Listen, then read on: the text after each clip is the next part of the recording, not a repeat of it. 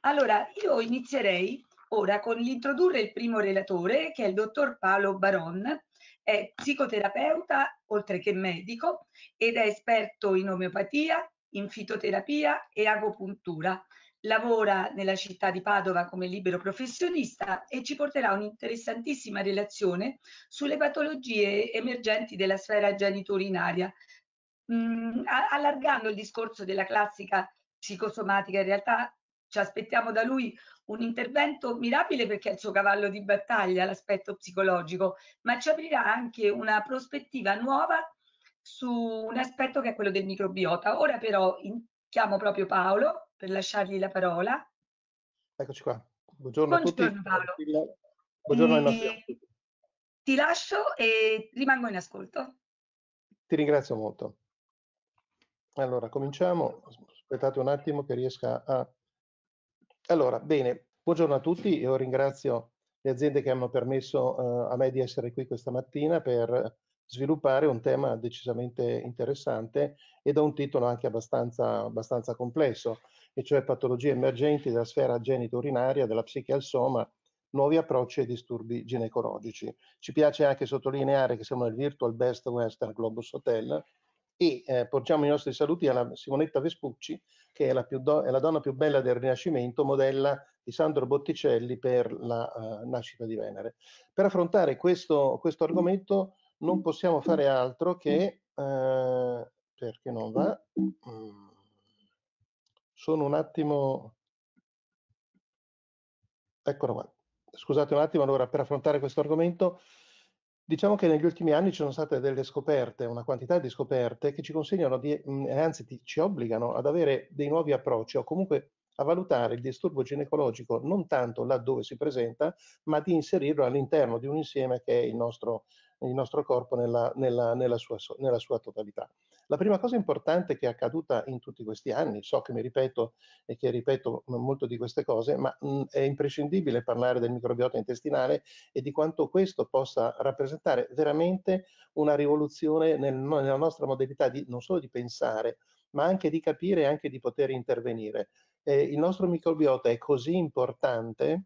che, a parte la, la sfera uroginecologica, è importante perché eh, costruisce un, uno sviluppo armonico per noi, eh, l'equilibrio e la salute del nostro corpo e soprattutto eh, ha grandi capacità di sviluppare ampie parti del nostro cervello, di portarle a, a maturazione, addirittura è coinvolto in cambiamenti eh, psicologici e stati infiammatori o addirittura in alterazioni metaboliche. È chiaro quindi che il microbiota intestinale non svolge solo ed esclusivamente la sua azione in loco, ma è in grado di determinare uno sviluppo generale armonico de, dello sviluppo della persona stessa. Sono nostri commensali, dal latino commensa, che significa mangiare insieme. Che cosa succede nel rapporto tra noi e loro? Che noi semplicemente diamo loro un'adeguata quantità di cibo per tutta la nostra vita e loro in cambio, ricevendo questo cibo, sono molto buoni con noi, danno, fanno una serie di azioni e eh, producono una serie di sostanze che sono straordinariamente importanti per noi. Hanno infatti delle funzioni metaboliche, producono vitamine, aminoacidi, acidi grassi a catena corta che sono importantissimi, ma non abbiamo qui il momento per, per approfondirli. Eh, neuromediatori, batteriocine, mh, mm, ha una parte protettiva con le batteriocine, con la resistenza alla colonizzazione dei patogeni, eh, e soprattutto una delle grandi capacità, una delle grandi doti che ha il microbiota eh, intestinale è quello di eh, allenare e sviluppare il nostro sistema immunitario, di cui ricordiamo il 90% è eh, stipato all'interno del, dell'intestino, oltre ad avere anche un ruolo di tipo strutturale. Noi stessi, la, cioè la nostra cellula, le cellule di cui noi siamo fatti, derivano di fatto da uno di loro, perché da una cellula primordiale si è, si, è, è, si è, inserito un mitocondrio che è un, che è un batterio, anzi un super batterio, perché come sapete ha una grandissima capacità di sviluppare eh, ATP e il cloroplasto. Uh, l'insieme di questi due uh, batteri con una cellula primordiale ha fatto sì che da quel momento in poi ci fosse la cellula eucariota, che la, è la cellula di cui noi siamo costituiti. Arriviamo al 2007, questo è un progetto straordinario nella sua complessità e nella sua, nella sua coraggio anche. Eh, L'America ha investito in questo progetto circa 173 milioni di dollari perché voleva sapere fossero, quali fossero, chi fossero e addirittura il genoma di tutti i germi che potevano essere presenti all'interno del nostro corpo. Quindi hanno scelto uh, eh, 300 persone mm, sane tra i 18 e i 40 anni e di queste eh, sono andati a prelevare eh, almeno 5 o più eh, tamponi in vari luoghi uh, del, del, corpo, uh, più, più, tamponi nella bocca, sulla pelle, sulle orecchie, dietro le orecchie e, e, così via, in modo tale da riuscire a fare di queste 300 persone ricavare qualcosa come 11.000 campioni che sono stati completamente eh, analizzati, caratterizzati e i cui batteri presenti sono stati analizzati per quanto riguarda la, eh, loro, la loro composizione dal punto di vista genetico. Questa cosa sta andando avanti naturalmente, addirittura la dottoressa Maria Gloria Dominez Bello, che fa parte sempre del, del progetto del microbioma umano, ha iniziato da, qualche, da, da pochi anni a uh, colonizzare eh, il corpo dei bambini nati da comparto cesareo uh, con una tecnica molto, molto semplice, cioè un'ora prima del taglio cesareo la dottoressa fa infilare una garza all'interno della, della, vagina della madre, la lascia per circa un'ora e al momento in cui si verifica eh, l'estrazione del bambino, beh, questa garza viene passata dalla dottoressa all'interno della bocca del bambino, all'interno del sul, sul viso e sull'intero corpo. Quindi questa è la prima colonizzazione che il bambino riceve di microbiota che appartiene alla mamma. Il secondo aspetto che noi dobbiamo prendere in considerazione, che è anche quello più eh, complesso, se,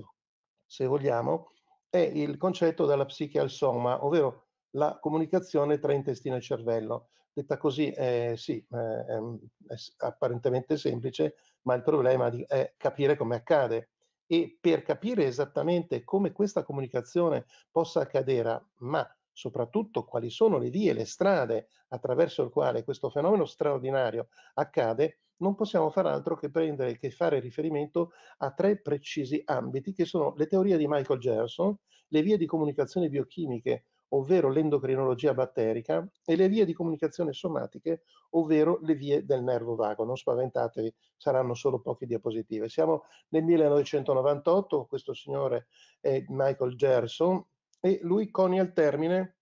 di secondo cervello. Eh, oltretutto pubblica un libro con lo stesso nome che un, diventa subito un best seller perché per la prima volta tutto ciò che noi avevamo sentore che accadesse dentro, nostro, dentro la nostra pancia, beh lui dice che effettivamente questa pancia in realtà non è solo pancia, ma è un cervello vero e proprio che comunica con il primo, anzi tutti e due comunicano l'uno con l'altro e sicuramente il,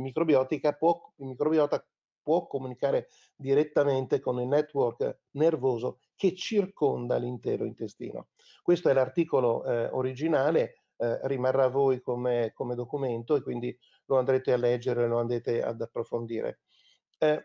la cosa interessante e importante è che nonostante il fatto che eh, l'intestino sia autonomo, nel senso che eh, autonomo significa che lui lavora nonostante ciò che voi pensiate o ciò che voi eh, potete fare, quindi è decisamente molto, ma molto autonomo rispetto al primo cervello. Ma pur tuttavia questo secondo cervello, che è il cervello intestinale, mantiene una comunicazione piuttosto costante con il primo cervello. Gran parte di questa conversazione riguarda il microbiota. Sorprendentemente, cioè ciò che noi abbiamo capito negli ultimi anni è che i nostri microbi, cioè i microbi che sono contenuti all'interno del nostro intestino, possono parlare con entrambi i cervelli usando sostanze chimiche. Quindi la modalità con cui ci parliamo avviene attraverso fondamentalmente delle sostanze chimiche che sono neurotrasmettitori, ormoni, acidi grassi, metaboliti e citochine. Quindi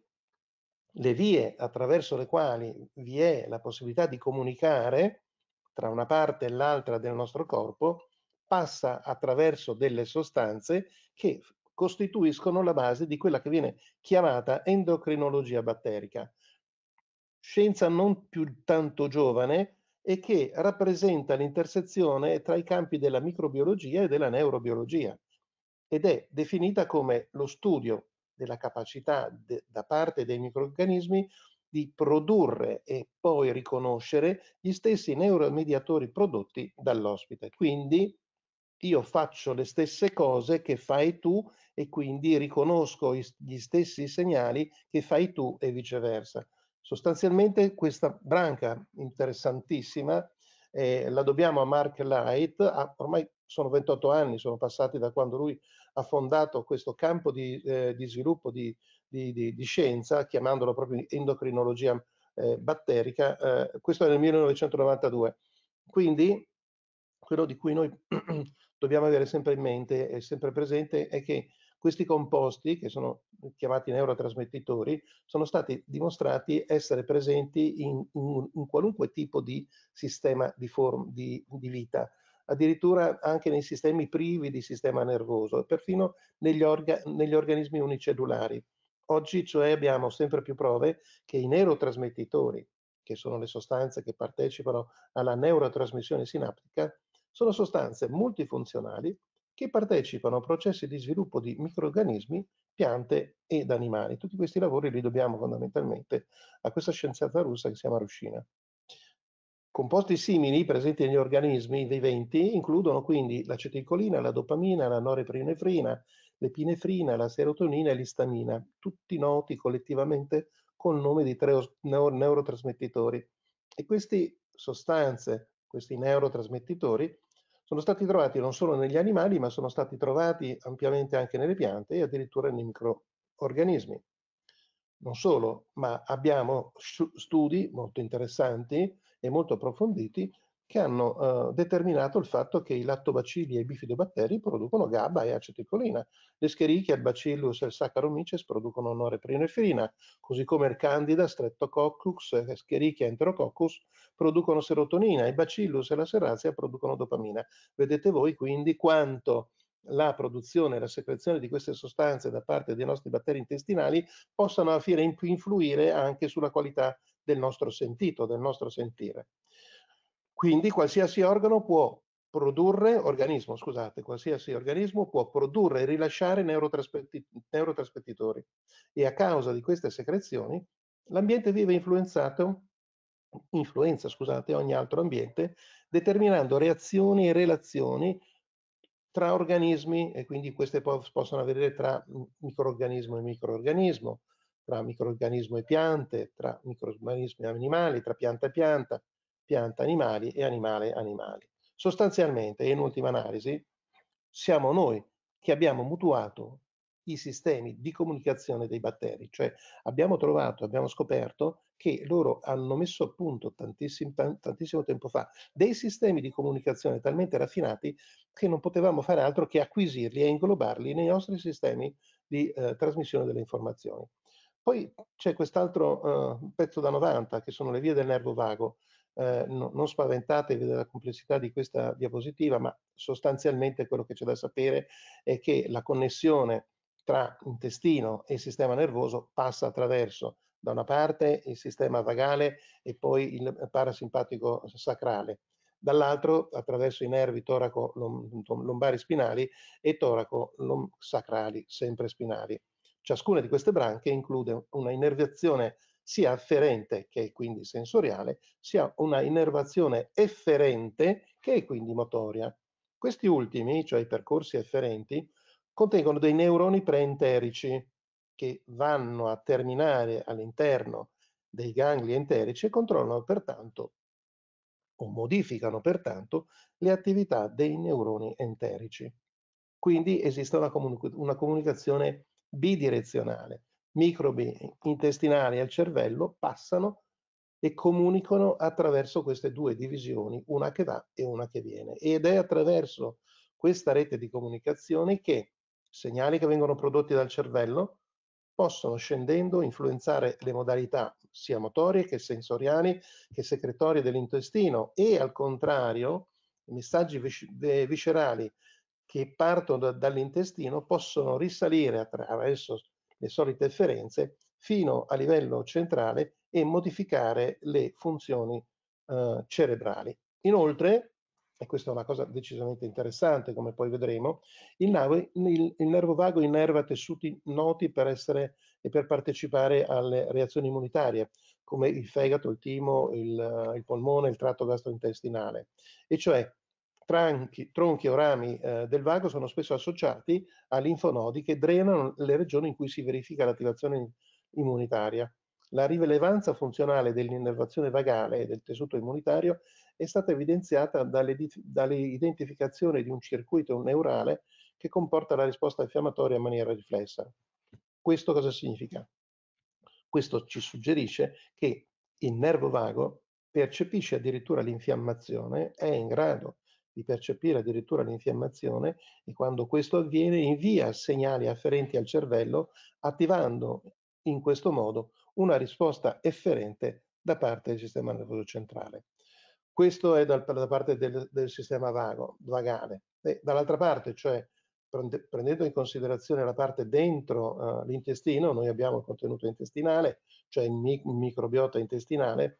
beh, abbiamo evidenti prove che il microbiota intestinale può attivare esso stesso il nervo vago e che tale attivazione svolge un ruolo fondamentale nella mediazione degli effetti sul cervello e sul comportamento. Sembra sostanzialmente che il nervo vago riesca a differenziare i batteri potenzialmente patogeni dai batteri non patogeni, in ciò potendo eh, creare una uh, reazione e indurre effetti ansiogeni nel caso in cui si abbia a che fare con agenti patogeni o ansiolitici nel caso in cui si abbia a che fare con, con batteri non pericolosi ma anzi consoni al nostro, al nostro intestino. Arriviamo a quest'altro argomento molto interessante. Noi sappiamo che la gran parte degli ormoni, degli estrogeni, sono fatti non certo all'interno del microbiota, ma sono fatti in altre strutture del nostro corpo. Beh, eh, pur tuttavia esiste una relazione che può essere anche straordinariamente importante tra gli estrogeni e il microbiota intestinale. Eh, questo naturalmente la premessa è che tutti noi riconosciamo che gli estrogeni svolgono un ruolo assolutamente importante e significativo nel mantenimento degli stati, degli stati di salute, così come possono essi stessi determinare degli stati, degli stati patologici. Un po' meno però è noto il fatto che il microbiota intestinale può avere un impatto significativo sui livelli degli estrogeni attraverso una sostanza molto importante che è un enzima che è una beta-glucoronidasi eh, che è una eh, sostanza che è presente sull'orletto a spazzola dell'intestino e che altro non fa che deconiugare gli estrogeni e renderli quindi liberi di poter agire sui loro recettori, sapendo che è solo l'estrogeno libero che è metaboli eh, biologicamente e metabolicamente attivo. Questo è un bellissimo lavoro da cui sono tratte queste informazioni del 2017 eh, di eh, Bacchera, in cui ci fa, mh, mm, mh, mm, ha studiato in modo eh, estensivo eh, quelli che sono i rapporti, quindi da una parte del, del contenuto intestinale e dall'altra mm, quello che è la possibilità di una disfunzione di quello che lui chiama l'estromolome. E come voi potete vedere l'interazione fra queste due situazioni può determinare una quantità e una serie di uh, di patologie, dico io, a cascata che hanno a che fare con l'endometriosi, con uh, l'ovaio policistico, con iperplasia, con obesità, con sindrome metaboliche, con disturbi cardiovascolari, mh, addirittura con una disfunzione cerebrale, passando addirittura attraverso il, il tumore. In che modo succede questo? Le alterazioni della diversità del microbiota intestinale influiscono sull'attività della beta-glucoronidasi, essendo l'enzima prodotto dal lattobacillo leuteri. Reuteri. È chiaro quindi che se noi abbiamo tanto reuteri c'è tanto eh, attività enzimatica e quindi avremo una, una sovraespressione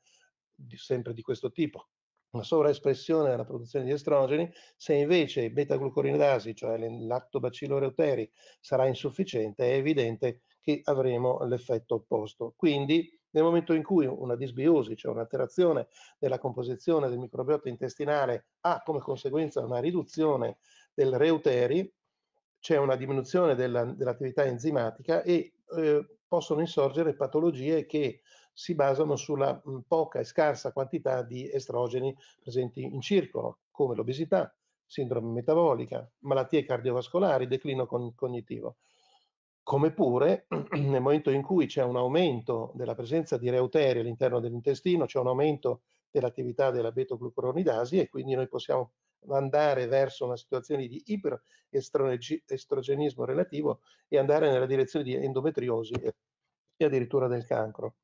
Oh, questa è abbastanza complessa, non perdiamo tempo a leggerla, ma sicuramente la leggerete con grandissima attenzione negli appunti che vi saranno distribuiti. Passiamo in un, situazioni mh, mm, un pochettino più tranquille, è sempre Botticelli che ci, che ci accompagna e eh, introduciamo anche un'altra premessa mh, fondamentale per il, uh, per il tema di oggi. Beh, sono nata nacida perché questo è il mio destino detta così è abbastanza sorprendente, lo sappiamo tutti, ma è una verità assolutamente incontrovertibile. Io sono acida rimarrò acida per mantenere la mia salute e questo fa parte del sistema di protezione della vagina sostanzialmente. Quindi l'equilibrio dell'ecosistema vaginale costituisce di fatto il principale fattore di difesa e di protezione contro le infezioni e questo ecosistema viene mantenuto tale grazie ai batteri presenti all'interno dell'ambiente eh, vaginale.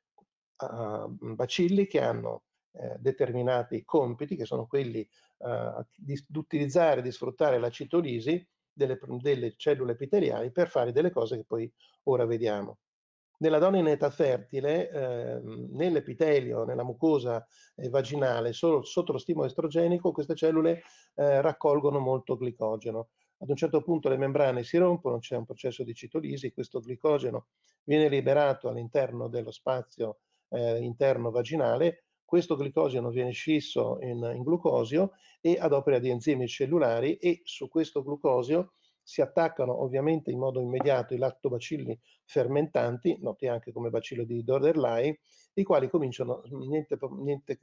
fanno il loro compito, che è quello di fermentare il glucosio e in questo processo di fermentazione viene prodotto l'acido lattico. L'acido lattico ha come conseguenza un abbassamento del pH vaginale che eh, si tara attraverso sui, sui livelli di 3,8, 4, 4, 4,5, non, non di più, cioè tendenzialmente verso i 4 e quindi è l'ambiente acido vaginale che mantiene l'obiosi vaginale e che eh, sviluppa tutte quelle situazioni di difesa nei confronti di tutti gli agenti che possono determinare una, una sua possibile cambiamento. Quindi è un sistema lattico-centrico dove tutta l'acidità è legata alla, alla, al lavoro dei batteri. Quindi vediamo a destra sono gli estrogeni, eh, gli estrogeni sono eh, contenuti nelle, nelle, nelle cellule eh, della mucosa vaginale, il glicogeno viene per citolisi esce all'interno del, dello spazio vaginale, ci sono i lattobacilli, degradazione del glucosio e eh, con produzione di acido lattico par, da parte quindi dei lattobacilli. Eh, I sistemi di, di protezione, scusate, non sono solo questi,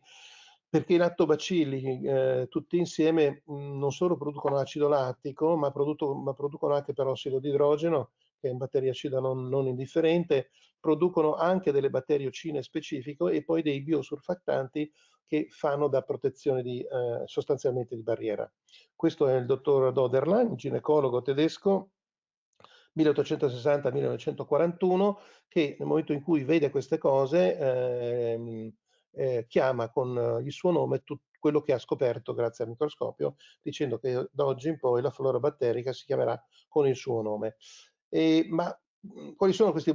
questi lattobacilli? Ce ne sono tanti, ce ne sono pochi. Quali sono i più importanti? Beh, entriamo in qualcosa di molto particolare che è eh, la squadra dei, dei quattro moschettieri. Sì, è vero, all'interno della vagina non ci sono solamente quattro, i quattro moschettieri che poi incontreremo, ce ne sono molti, ma molti, ma molti di più ma questi quattro da soli la fanno da padrone. E quali sono questi quattro moschettieri? Beh, il Crispatus, il Gasseri, lo Genseni e l'Iners. Questi quattro da soli fanno la stragrande maggioranza della, da un punto di vista numerico, la stragrande maggioranza di tutti i germi presenti all'interno della, della vagina. E vediamo qui eh, che ehm, il, cris il, Crispatus rappresenta il, la classe 1, poi c'è la classe 2 con Gasseri, la classe 4 con Genseni, la classe 3 con Liners. Nella classe 4 ci sono tutti gli altri germi diversi che sono, come vedete sulla destra, dei generi più, più strani e incredibili, ma fondamentalmente eh, eh, queste eh, questa classificazione eh, più o meno viene rispettata con, ovviamente con delle eh, ampie variazioni da un'etnia all'altra eh, nelle donne asiatiche piuttosto che bianche, eh, nere o, ispa o ispaniche. Sostanzialmente quindi per concludere e terminare questa parte di, eh, di, protezione che la vagina ha messo in essere è se siamo in eubiosi significa che il pH è acido. Intanto che il pH è acido noi siamo protette, noi siamo a posto, difficilmente noi riusciremo ad, a farla ammalare. Il problema è che c'è sempre qualche cosa, qualcuno che cerca di cambiare, ma ci sono comunque dei sistemi di protezione. Come facciamo a sapere qual è il pH?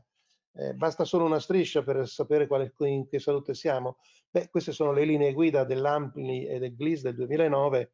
Beh, possiamo fare una cosa molto semplice e cominciare a pensare che non sarà proprio una cosa precisissima, precisissima, perché non è che con un pH 4,5 noi sappiamo se la cosa è normale oppure potrebbe esserci una candidosi, anche se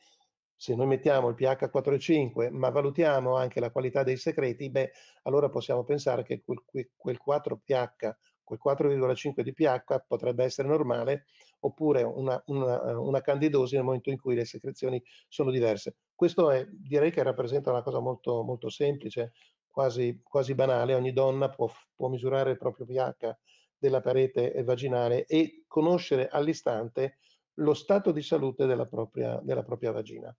E qui c'è il cammino della patobiosi, e cioè il crispatus è il germe più potente, quello che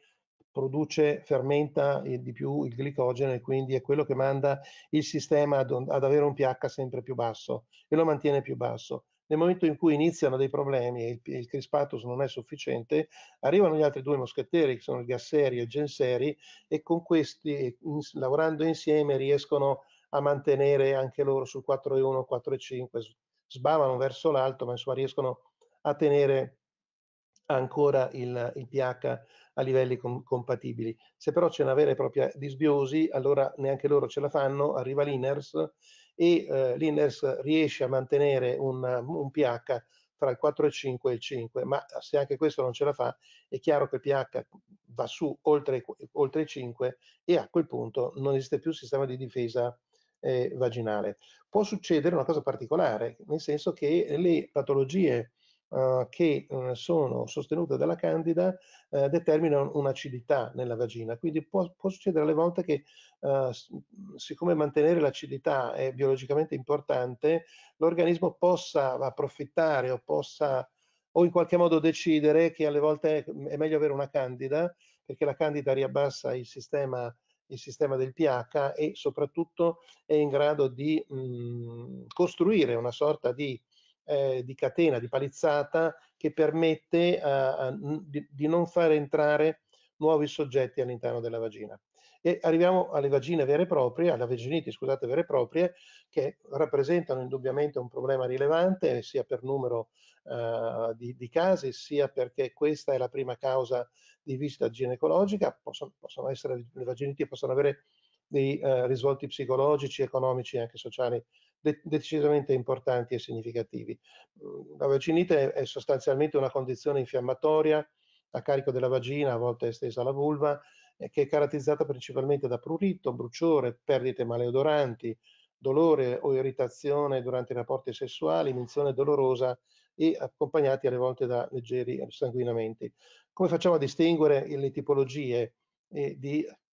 eh, di vaginiti da, da, un germe all'altro, ma è relativamente semplice, nel senso che nelle vaginiti batteriche, a parte i sintomi che sono comuni a tutte, ehm, ci sono perdi, le perdite sono maleodoranti, ma l'aspetto è bianco-grigiastro e l'odore può essere quello del pesce. A destra i germi che essere, possono essere compatibili con eh, vaginiti batteriche, un po' tutti questi. Eh, oppure abbiamo una, uh, una, vaginite micotica, ci sono sempre il prurito vulvo-vaginale, ma in questo caso le perdite sono uh, secrezioni bianche consistenti, simili alla ricotta, per arrivare alle, alle, ai, ai, sintomi della vaginite da tricomonas, in cui uh, ciò che contraddistingue in modo importante e significativo questo tipo di vaginite è sicuramente rappresentato da secrezione giallo-verdastra e soprattutto con un odore piuttosto pungente e con bruciori vaginali piuttosto, piuttosto importanti. Ci sono altri quadri di, eh, che non sono delle vere e proprie vaginiti infettive,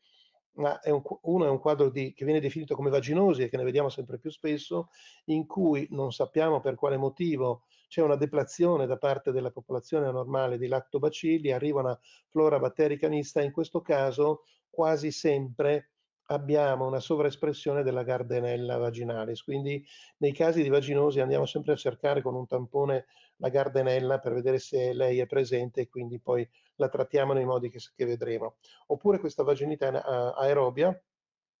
che è un'infiammazione, c'è una depressione anche qui nell'atto bacillare, ma c'è un, un, intenso richiamo leucocitario con presenza addirittura di leucociti tossici e il pH fa ancora una volta dirimente, il pH eh, supera addirittura il, il 6.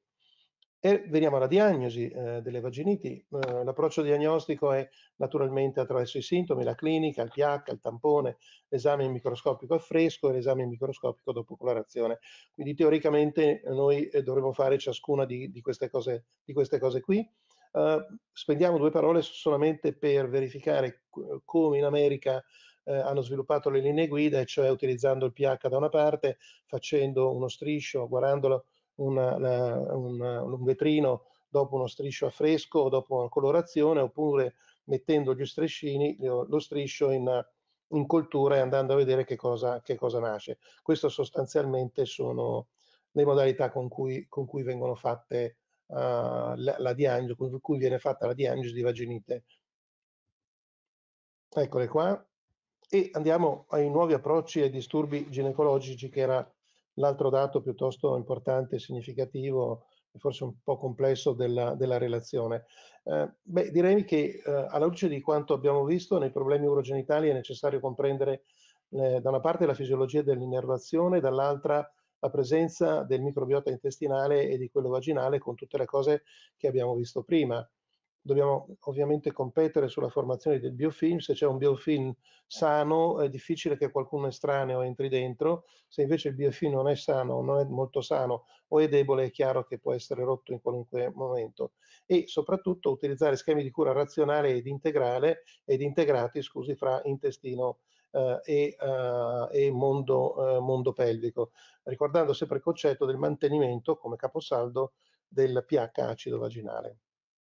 Una cosa importante, ricollegandoci al nervo vago, che è stata dimostrata che l'attività del, nervo, del nervo vago ha una capacità molto importante da un punto di vista antinfiammatorio. Questo va detto e va detto in modo molto importante e significativo e molti degli effetti che noi otteniamo sul microbiota in realtà sono la conseguenza di un'attivazione eh, di un'attivazione vagale e non ricordiamoci questo bellissimo articolo comparso in eh, Scientific America nel 2015 che dimostra mm, totalmente, completamente la potenza e l'efficacia di una stimolazione vagale, ancorché questa cruenta, ma vi sono anche delle tecniche non cruente, in cui l'attivazione del nervo vago conduce lo stimolo fino al ganglio celiaco, dal ganglio celiaco prende la strada del nervo splandico, questo eh, impulso arriva alla milza dove c'è un rilascio di norepinefrina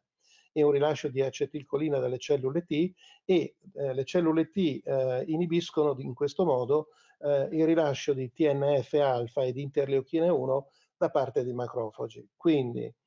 la stimolazione del nervo vago ha in ultima analisi come conseguenza importante e significativa la riduzione degli elementi che comportano l'attivazione dell'infiammazione cronica. E per non parlare delle pelvi, che è apparentemente un mondo a sé, ma collegato a, noi vediamo qual è la eh, stretta eh, eh, aderenza degli, dei vari organi di cui stiamo parlando. L'ano, la vagina e la vescica si, si stendono in pochi centimetri. L'altra cosa importante è l'innervazione che loro hanno. Sono innervati dal, dal plesso sacrale, ma soprattutto la parte genitale e la parte urologica è eh, eh, innervata dal parasimpatico sacrale che non ha nulla a che vedere con il sistema, eh, con il nervo vago. Beh, questa parte della, del, delle pelvi, cioè il plesso sacrale, noi possiamo utilizzarlo in modo molto raffinato, in modo cruente o non cruente, attraverso una neuromodulazione o la stimolazione del plesso sacrale, ottenendo in cambio eh, degli interessanti eh, risultati. Per non dire che cosa facevano 3500 anni fa eh, gli antichi egizi. Abbiamo questo papiro di Eber del 1552 conservato nella biblioteca di, di Lipsia ed è praticamente il primo trattato di patologia medica serio, ben fatto, ben costruito. Beh, guardate cosa facevano gli egiziani. Gli egiziani avevano imparato dall'Ibis, che ha un becco molto lungo, a pulirsi, a pulirsi l'interiore, diciamo, a pulirsi l'intestino e quindi loro hanno copiato, lo hanno addirittura eh, eh, fatto, fatto, dei, fatto Dio e hanno copiato dall'Ibis la necessità di fare pulizia dei loro intestini attraverso l'utilizzo di corni o di canne di, di, di, papiro. Ma questo è il trattamento delle infezioni che facevano loro. Trattavano ad esempio le vaginiti con il dattero fresco, con un unguento chiaro, con le foglie di acacia, con le carrube, con il latte d'asina e le cistiti con le tisane di ortica, con le tisane di equiseto oppure con l'utilizzo di agrimonia e sedano. Che fare di più? Beh, quello che possiamo fare di più al giorno d'oggi è certamente verificare la sensibilità al glutine e al lattosio. Questo potrebbe comportare, se positivo, una, eh, e se tolto e eliminato, una decisa riduzione dell'ambiente infiammatorio a livello intestinale. Usare lactobacilli specifici tra i, di, quei quattro, di quei quattro moschettieri che abbiamo parlato prima, aumentare la protezione con la vitamina C la vitamina D, con l'acido ialuronico, con lo zinco e poi abbiamo una quantità di fitoterapici veramente infinita in cui nell'ultima parte di questa mattinata eh, saremo allietati dalla dottoressa Mauro. Con questo terminato. Io ringrazio un'altra volta Sandro Botticelli e, Simonetta Vespucci, che ne è stata la modella, e vi ringrazio per l'attenzione.